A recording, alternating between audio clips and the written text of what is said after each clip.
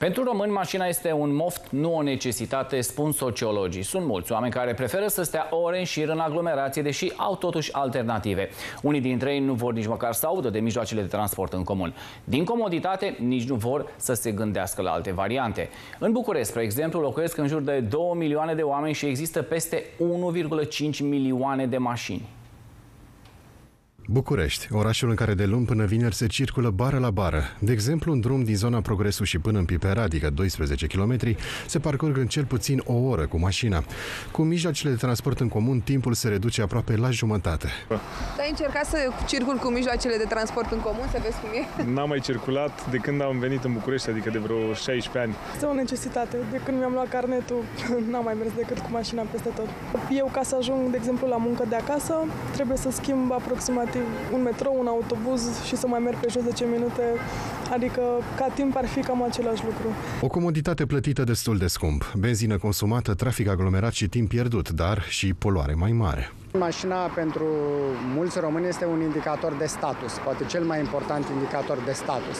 Spre deosebire de multe țări din Occident, de exemplu Statele Unite, țări dezvoltate din vest, în care locuința, sau mai bine zis zona în care locuiești, este unul dintre principalii indicatori de, uh, de status. Pentru români, în principal uh, mașina. Mai întâi și au o mașină bună, după care se gândesc unde să, unde să, uh, să locuiască. România are cea mai mică rată de motorizare din Uniunea Europeană, dar cea mai aglomerată capitală, ceea ce e foarte ciudat. Dacă ne gândim în practică ce înseamnă asta, Practic, aproape 20% din parcul auto este concentrat în București. Nici așa zisa revoluția parcărilor nu i-a făcut pe bucureșteni să renunțe la mașini și fiecare parchează pe unde poate.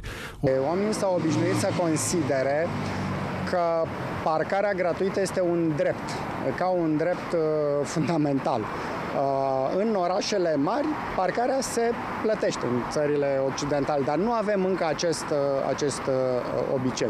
În această parcare din zona aviatorilor, în trecut, indiferent de oră, nu exista nici măcar un loc liber. Ei bine, acum, de când a fost introdusă plata obligatorie, am numărat aici cel puțin 10 locuri disponibile. Dacă în România autoritățile ar încuraja pe români să leagă mobilitatea alternativă, adică bicicletele și trotinetele, poate că oamenii ar renunța la mașină, spun specialiștii.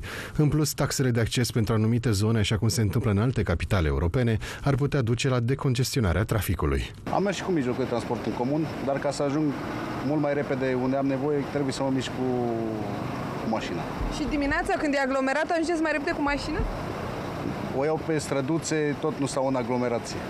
Și e și mai comod. Și e și mai comod, chiar dacă ocolesc un pic mai mult. Și în Cluj, al doilea mare oraș al țării, situația este aceeași. Unul din cinci clujeni face zilnic naveta. Mai exact, 38.000 de șoferi intră și ies din oraș zilnic. De ce ales să folosești mașina? Din comoditate.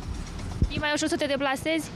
Uh, da, e mai ușor, dar pe de altă parte e și mai complicat că stau la rând la parcare și de multe ori mă gândesc că oare ce în mintea mea când prefer să iau mașina decât să iau autobuzul sau să merg pe jos? Cele mai recente date arată că în România sunt înmatriculate 8,8 milioane de vehicule, adică o mașină la doi români. Vorbim aici de cei trecuți de 18 ani.